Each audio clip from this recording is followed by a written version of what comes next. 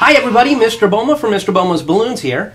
The other night, I went to a balloon jam, and Brett Bolich was there. Brett Bolich is a balloon artist and a magician, and Brett showed me how he took my poodle design and miniaturized it.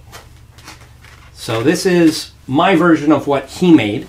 Um, and so here, instead of five inch rounds, we've got 260 flower petals. So there are eight flower petals, just like there were eight five inch rounds. So eight flower petals.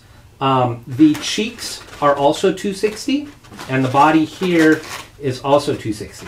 Everything else is made out of 160, but it's the same basic poodle design, just miniaturized. So I wanted to say thank you to Brett for this idea of the miniature poodle. All right, I will see you next time. Thanks for watching. Bye bye.